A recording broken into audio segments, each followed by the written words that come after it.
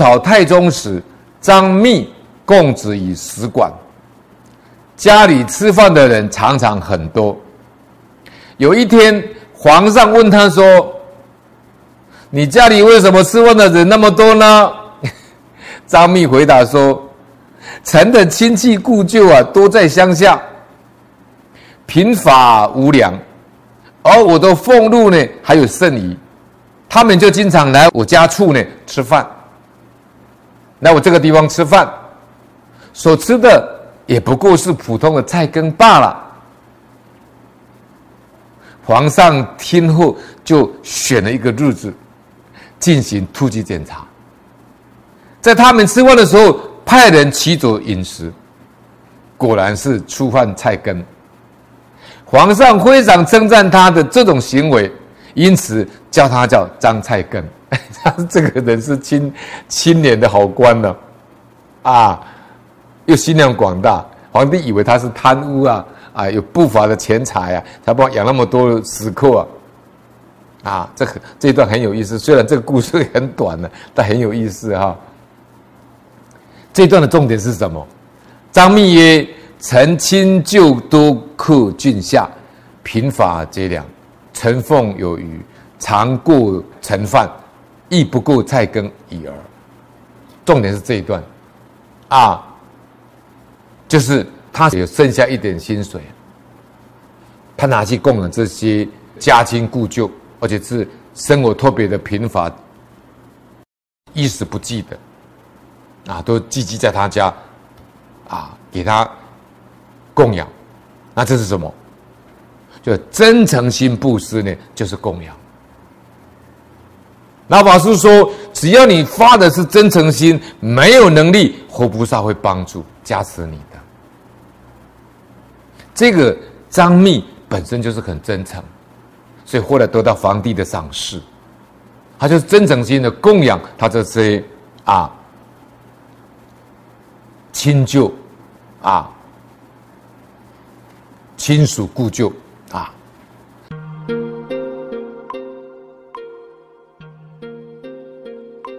无病第一利，知足第一富，善有第一亲，涅盘第一乐。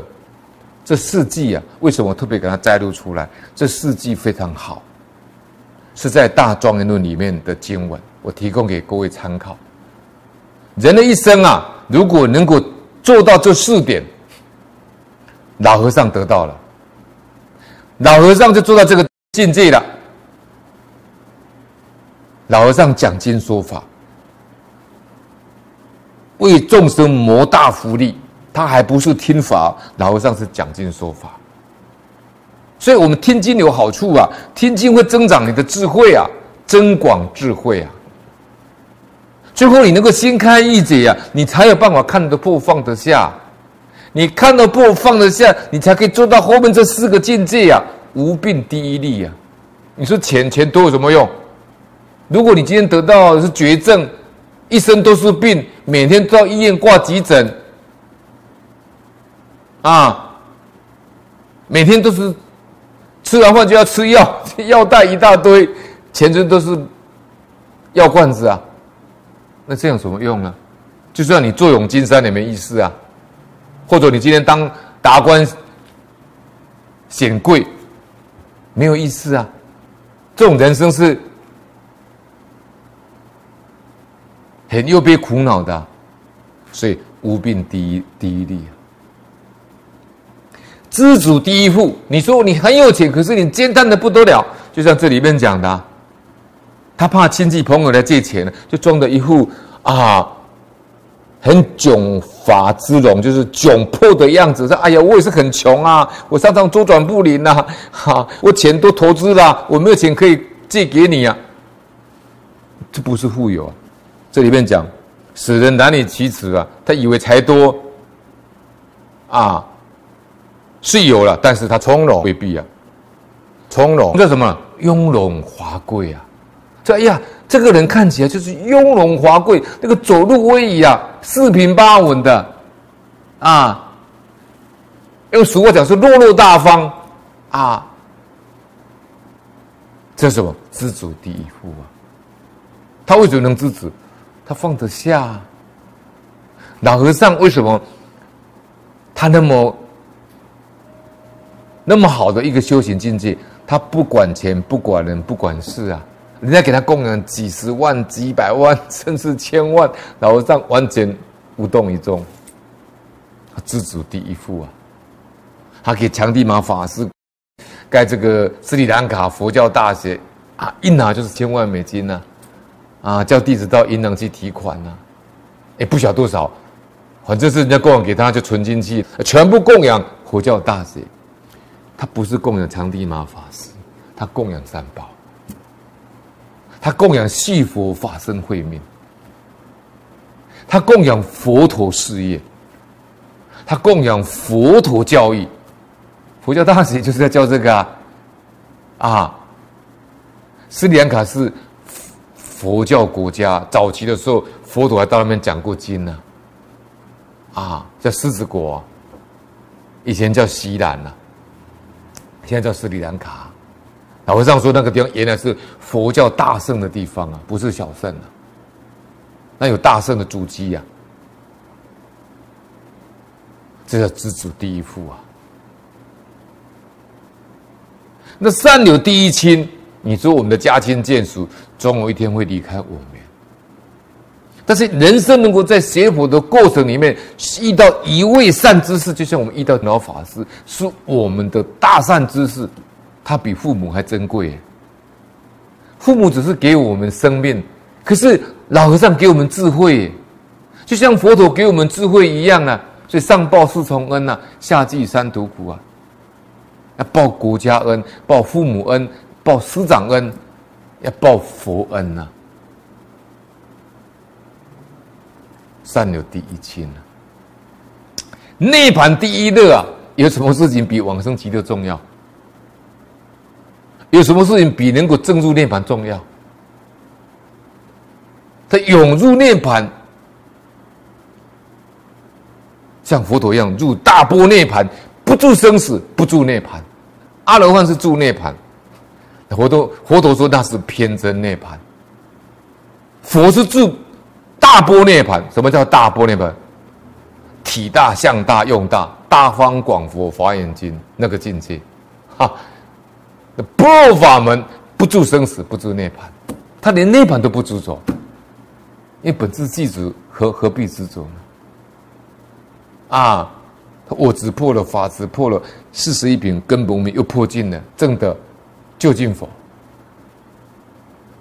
涅盘第一乐。那么《大庄严论》呢，或称为《大庄严论经》，庄严论是古印度高僧马明菩萨所撰写的论述。马明菩萨是佛陀灭度以后，后来诞生的一位大菩萨的大圣行者，啊，后来这这本《大庄严论》呢，啊，传到中国来呢，有后秦。就是姚琴鸠摩罗什大师译的汉译全论呢十五件，说在大藏经的本本源部中，在汉传佛教之中，绝大多数称叫经是佛陀说法，弟子记录。那菩萨所做的都叫做论，菩萨造论，就马明菩萨嘛，他造论啊。比如大圣起信论，那就是论啊。在中国唯一一位他所开示的经典的道理，可以称为被称为经，就一个人，六祖大师。六祖大师华宝坛经，六祖坛经。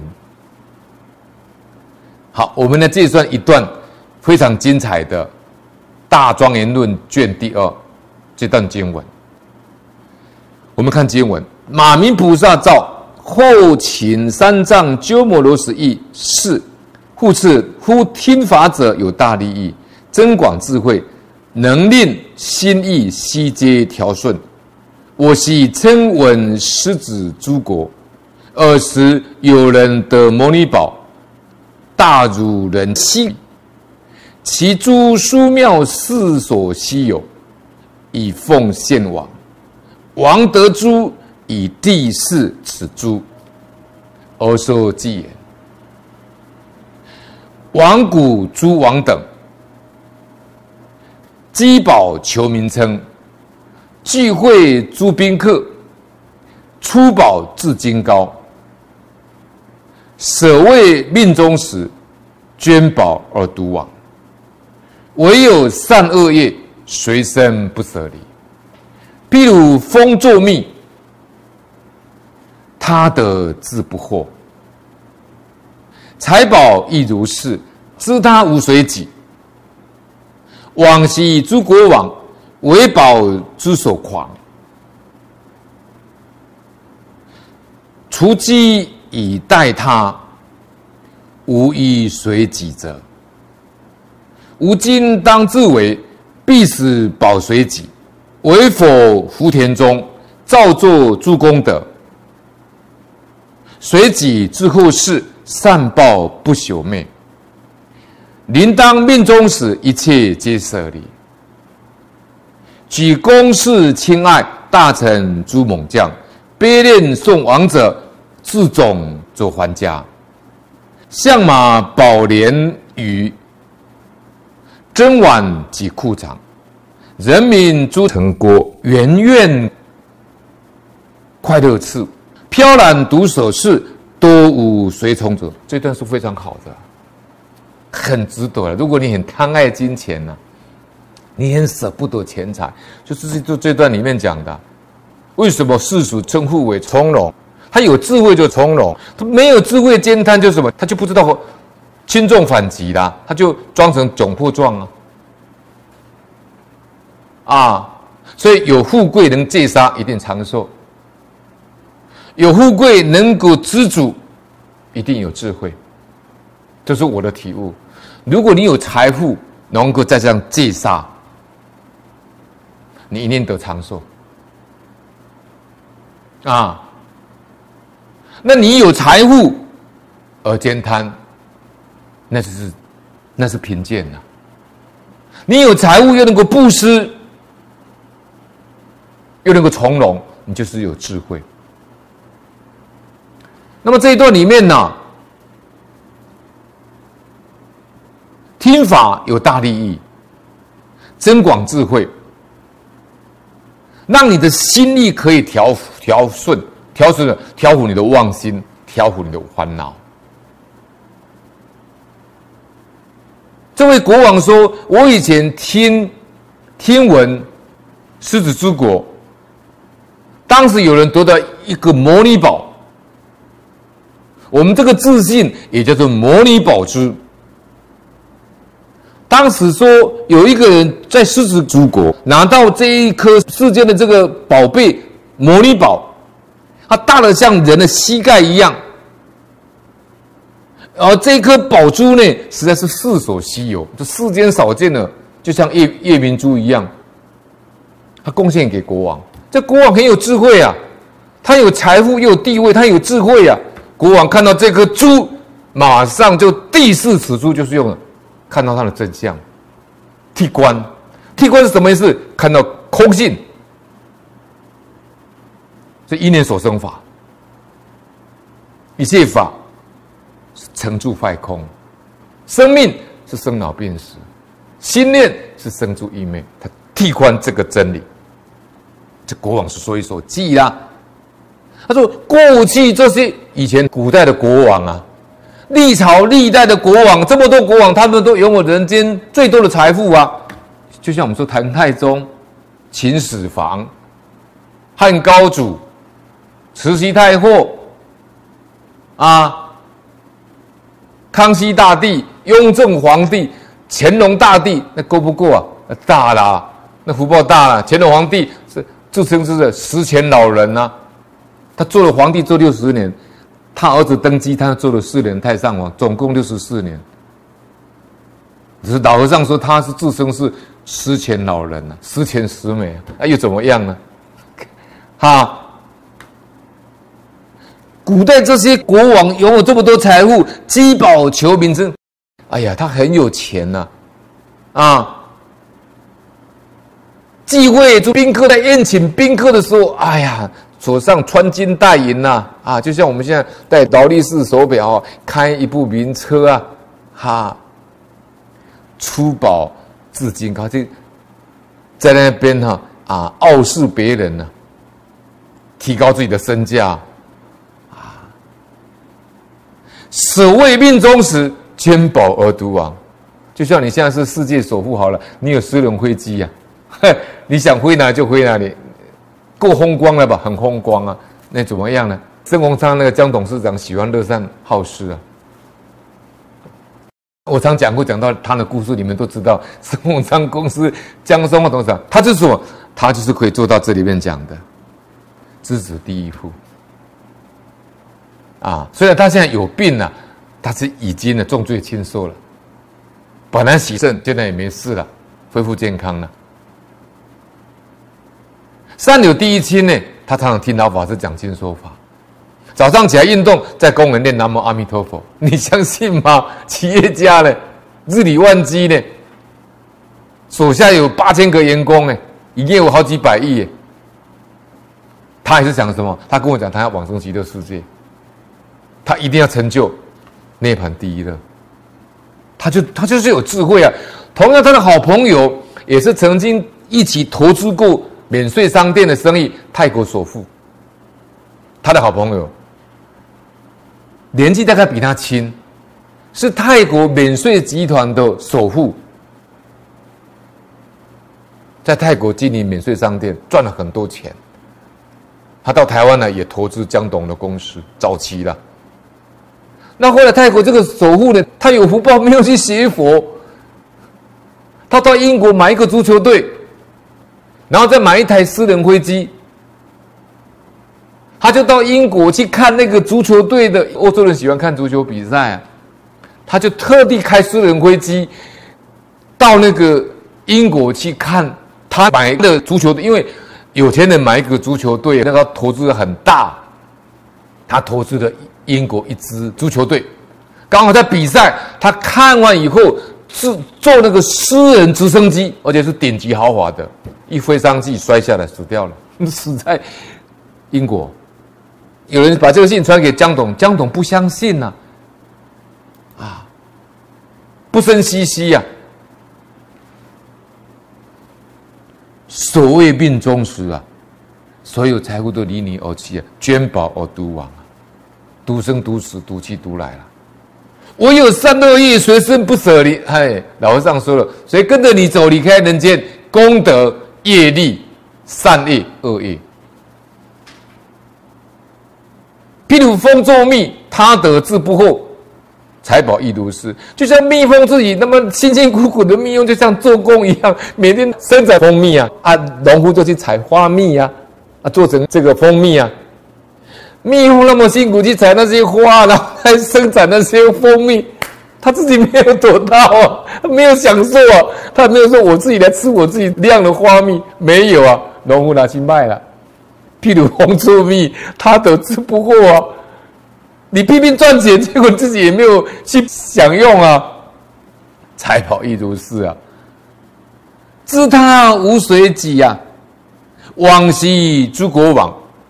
为宝之所狂，历代的这些国王啊，都被这些财富迷惑了，为他造业，为他杀人，为他争夺，为宝之所狂，被这个财财富迷惑了，除积以待他，你一直累积，一直累积，还要传给你祖孙，无意义随机者，那结果传给祖孙，你又自己要走的时候，也没有带半毛钱呢。无欲随己者，也没有跟着你去呀。无尽当自为，必死保随己。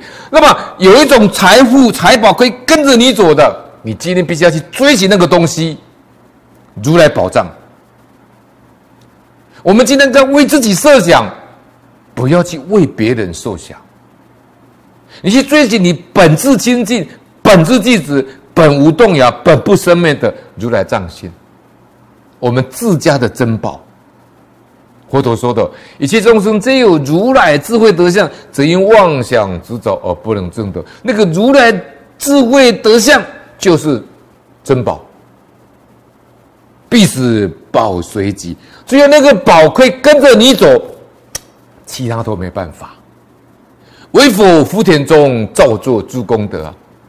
那另外就是在佛的三宝福田中啊，种的福田呐，所造的功德最殊胜，造作诸功德是什么？戒定慧、解脱、解脱之间五分法生香，随己之后世，而且他还可以带到后代，随己之后跟着你到后代去，善报不朽灭啊！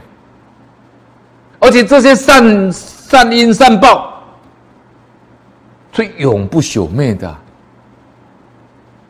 啊！水不能淹，火不能烧，刀不能砍呐！临当命中时，一切皆舍离。当你临命中的时候，一切都离你而去呀！几公是亲爱啊！你最喜爱的城堡也好，你的豪宅也好，你的华屋也好。你的亲爱的这个家亲眷属也好，大蠢猪猛将，你旁边很多部长啊，这些平常都靠你吃饭的，靠你衣食，父母的这些你的大臣，还有你所用的这些猛将。悲恋送亡者，他们是舍不得你走啊！哈，悲心呐，悲泣的，依恋的啊，恋恋不舍的送你到坟墓去啊，送你到火葬场去火化，哈，悲恋送亡者啊，这种走还家，到坟墓旁边埋葬完，跑回家了，还是回去呀？这种这还家，他没有骗你呀，还是走啊？像马宝莲一样。哎呀，你今天坐的是啊，宝马的这个德国的宾士啊，我们台湾叫宾士啊，国内叫邦驰啊，啊，宝马啊，劳斯莱斯的啦，古代都是啊，这个象马、大象、宝马的这个。宝盖啊，这古代因为没有汽车嘛，都是这些轿子啊，都是很华丽的，叫象马宝莲仪啊。还有你所珍藏这些古玩字画的这个珍玩这宝物啊，极库藏啊，你藏了很多古董啊。人民铸成国，还有你所拥有的统治的人民呐，你这个国家了，人民铸成国。圆圆快乐是，还有你的华丽的这个花园呐，你的豪宅啦，你居住的这个华屋啊，漂亮的房子啊，圆圆快乐吃啊。平常这你在那边，哎呀，赏心悦目啊，哈，招待宾客啊，你还是一个人孤独的往三个道去报道啊，飘然独守诗啊，一切都是已经过去了。多无随走者，没有一个人跟着你走啊！千山万水我独行，不必相送啊！这一段大庄严看起来是很伤感呐，但是这是事实的真相。马明菩萨把它说出来，刚好对照到我们这一篇里面的世俗称呼为从容的，以及反击可通啊，无窘迫之状啊！你这一生如果富贵，你要。学菩萨有福德不受福德，帮助众生离苦得乐啊！去做去做一些利益众生的事情啊！啊，这一段非常的好，提供给各位啊参考。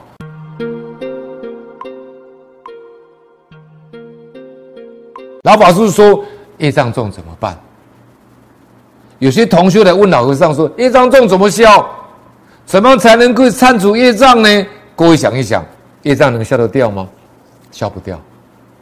为什么消不掉？一天到晚增长业障。什么是业障？打妄想就是业障，想东想西，想前想后，那叫业障。业障怎么消？连阿弥陀佛就消除了，因为阿弥陀佛这一句不是业障，各位记得这个很重要啊。不念阿弥陀，我就打妄想，是不是不是这样？是这样啊！你不念阿弥陀，就念六尘世界啊，啊，就打妄想了，那就业障现前啊！你们想想看，什么方法最有办法消除业障，就是念佛。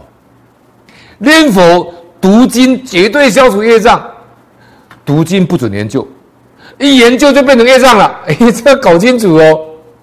一研究就变成业障啊！经怎么可以研究呢？经是如来真实义啊！你不能当成学问来研究啊！你没有成就如来，你怎么懂得如来真实义呢？根本不可能。所以你就老老实实的念佛、念经消业障，研究经典增长业障。这个是不是老和尚说的？老和尚说清凉大师讲的啊。你心还是乱心、杂心，还是染污心？染污就是心里有贪嗔痴慢。你所懂得的佛法，全部都是邪知邪见，因为你烦恼没有断。断了烦恼，你所懂的佛法叫正等正觉，那就不一样了。见识或断了，这个知见才叫正觉。见识烦恼没有断，都是邪知邪见。这是我们自己一定要认识清楚的。我们见识烦恼没有断，老实念佛就是消业障，就是破无明、断邪见。老和尚这段讲实在是太好的了啊！